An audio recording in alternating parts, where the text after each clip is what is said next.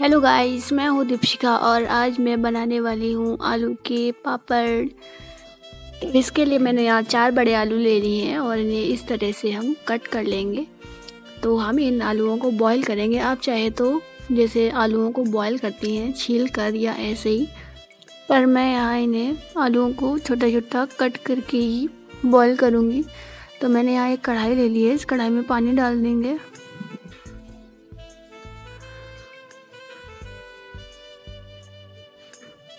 अब इसमें हम अपनी कटी हुई आलुओं को डाल देंगे।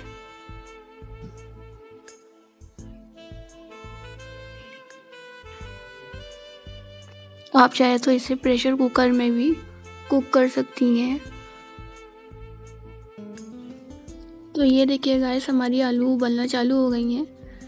ये बहुत ही जल्दी उबल जाएँगी। ये हमारी चिप्स वाली आलू हैं, जो बहुत ही जल्दी पक जाती हैं।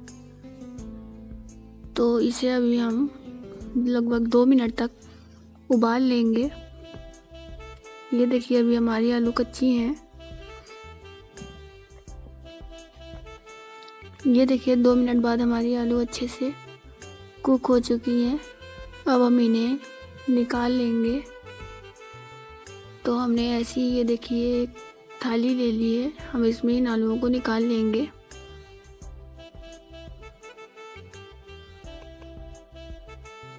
आलूओं को निकालने के बाद या तो फिर आप इसमें पानी डाल के ठंडा कर लीजिए, या फिर थोड़ी देर के लिए इसे रख दीजिए। ये देखिए, मैंने इसमें पानी डाल के इसे ठंडा कर लिया है। अब यहाँ पे मैंने दो बाउल ले लिए हैं, क्योंकि हमें दो तरीके आलू के पापड़ बनाने हैं। ये देखिए, हमने यहाँ पे आलू ले लिए हैं, अब इन्हें हम छीन लेंगे। और दो बराबर दोनों बाउल में मतलब हाफ़ हाफ़ हम डिवाइड कर लेंगे, क्योंकि हमें दो तरीके के पापड़ बनाने हैं। तो चलिए इन आलू को छीन लेते हैं। और गैस ये याद रखिएगा, हमारी आलू एकदम ठंडी नहीं होनी चाहिए, हल्की गर्म होनी चाहिए, नहीं तो आपका भरता एकदम अच्छे से बनेगा नहीं, फिर आपको इसे कद्दू कैसे ही करना पड़ेगा।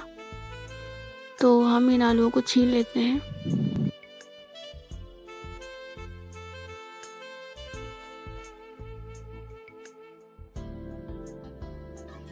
तो ये देखिए गाइस हमारी आलू छिल चुकी है और मैंने इन्हें दोनों में बराबर रख लिया है।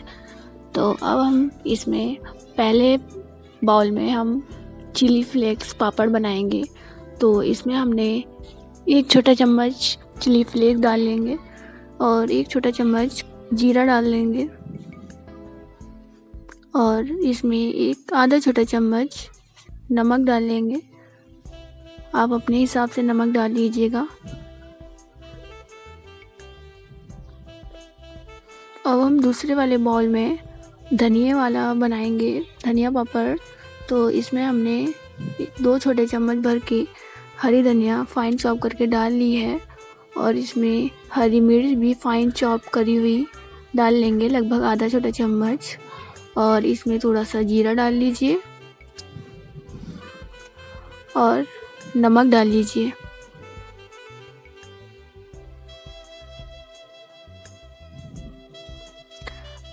हमने सारे मसाले डाल लिए हैं तो इन सारी चीज़ों को हम अच्छे से मिक्स कर लेंगे।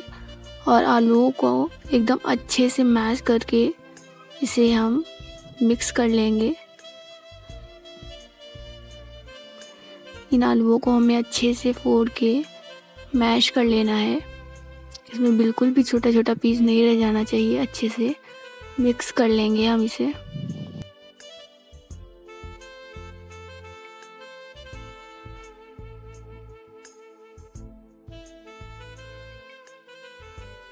तो ये देखिए गाइस हमारा मिक्सचर तैयार हो चुका है। अब हमें इसके छोटे छोटे से गोले बनाने हैं।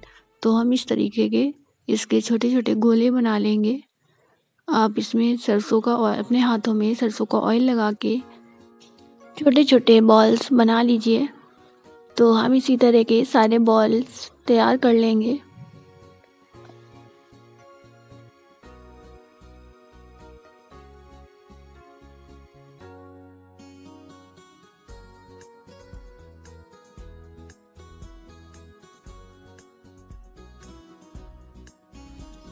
तो गाइस ये देखिए हमारे सारे बॉल्स तैयार हो चुके हैं।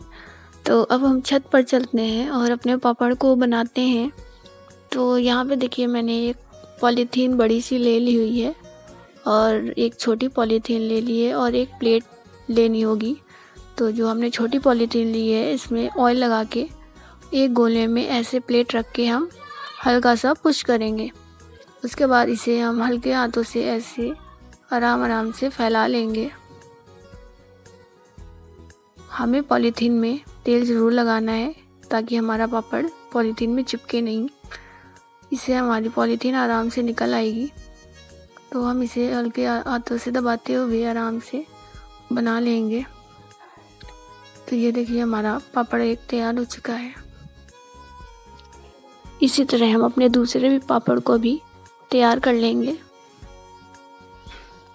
तो गाइस हमें इसे ज़्यादा दबाना नहीं है। आराम से बनाना है।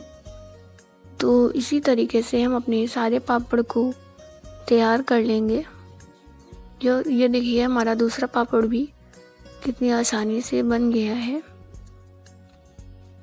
तो इसी तरह हम अपने सारे पापड़ को तैयार कर लेंगे।